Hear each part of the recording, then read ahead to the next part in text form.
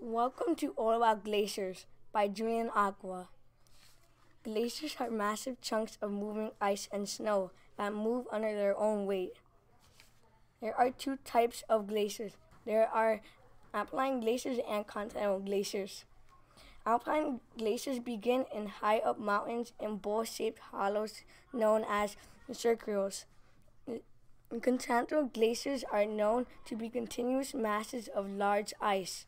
Most glaciers are found in Greenland, and Antarctica, and even near Africa.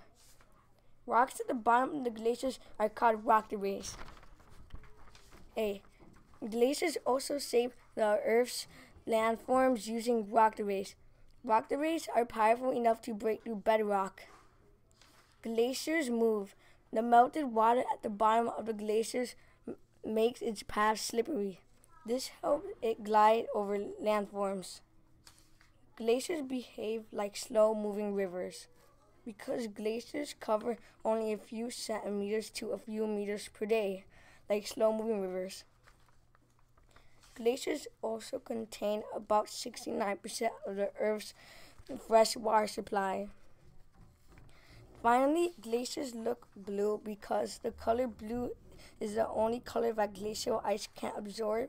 This is true because the color blue has short wavelengths, which is transmitted and scattered.